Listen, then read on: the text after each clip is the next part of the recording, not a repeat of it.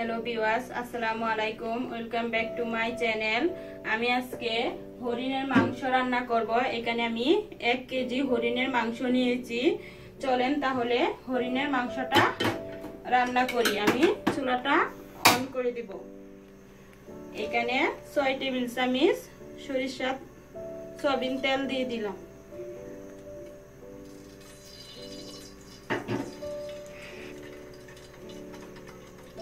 আর দিয়ে দিব এখানে এক কাপ পরিমাণ পেঁয়াজ কুচি।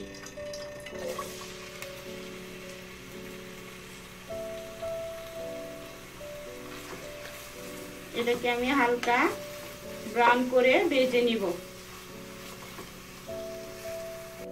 আমার পেঁয়াজগুলা হালকা ব্রাউন হয়ে গেছে।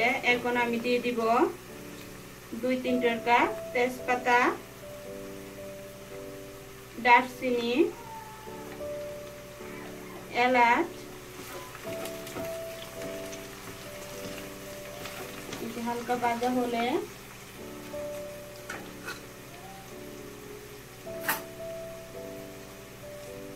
দিয়ে দিব পরিমাণ মতো লবণ।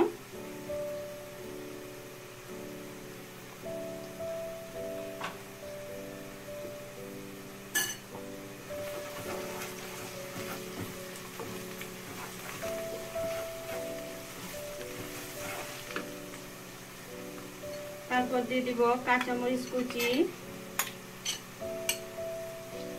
আমি এখানে চারটা কাঁচামরিচ, মরিচ কুচি করে দিয়েছি। আর দিয়ে দিব একটা টমেটো কুচি।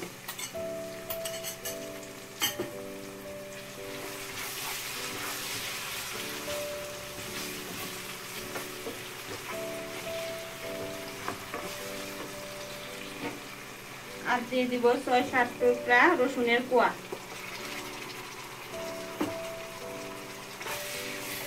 এখন এই সবগুলোকে ভালোভাবে কষিয়ে নিব।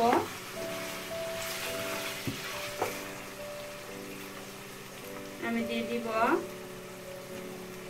দুই টেবিল চামচ রসুন বাটা, দুই টেবিল চামচ আদা বাটা।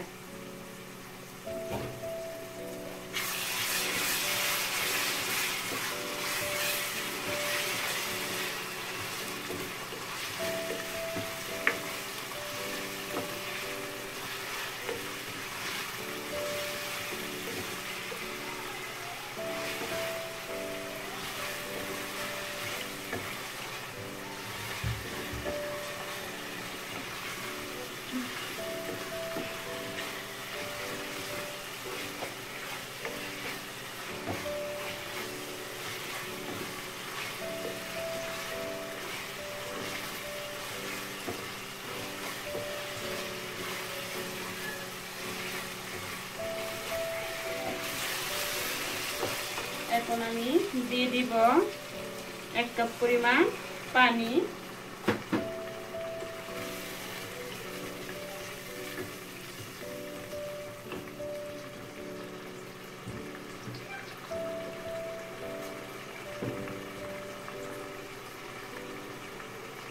দিয়ে দেবো এক টেবিল চামচ পরিমাণ হলুদ গুঁড়া।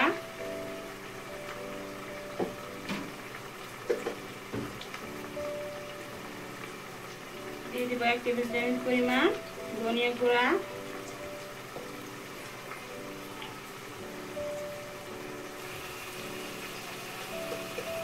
দিয়ে দিব, আধা টেবিল চামচ মরিচ গুঁড়া।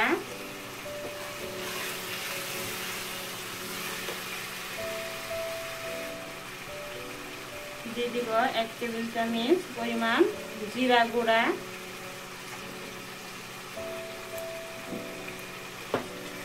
এইগুলোকে সবগুলোকে আমি কষিয়ে নিব।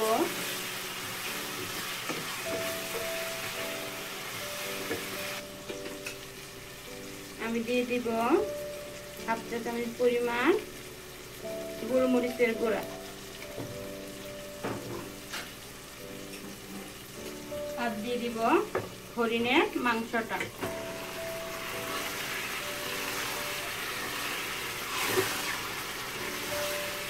এখন আমি মশলার সাথে মাংসটাকে মিক্স করে নিব।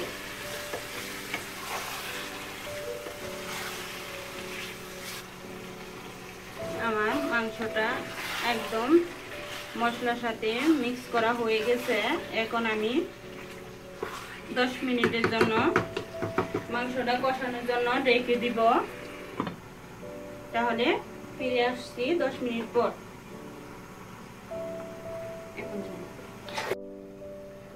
ফিরে এলাম।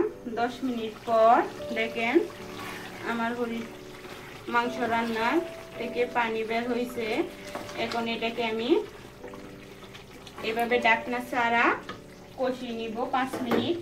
তারপর পানি এড করব। আমার মাংসটা কষানো হয়ে গেছে। দেখেন মাংসের উপরে তেলটা উঠে আসছে। এখন আমি দেড় কাপ পরিমাণ পানি অ্যাড করব।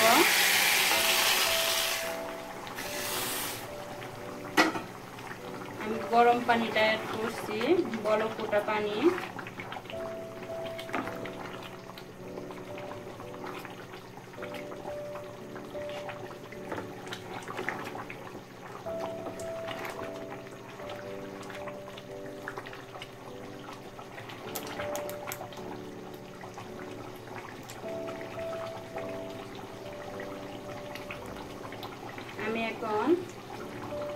দশ মিনিটের জন্য রেখে দিব মাংসটা সিদ্ধ হওয়ার জন্য।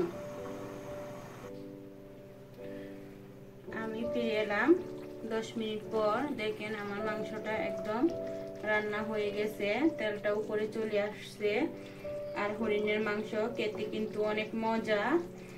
আমার রেসিপিটা যদি ভালো লাগে তাহলে লাইক শেয়ার এবং সাবস্ক্রাইব করেন। ধন্যবাদ ভিডিওটি দেখার জন্য।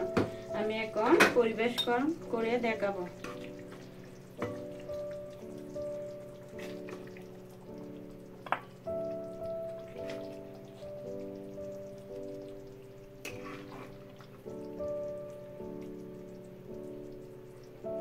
যে আমার হরিণের মাংসটা দেখতে যেমন সুন্দর হয়েছে, খেতেও তেমন মজা হয়েছে।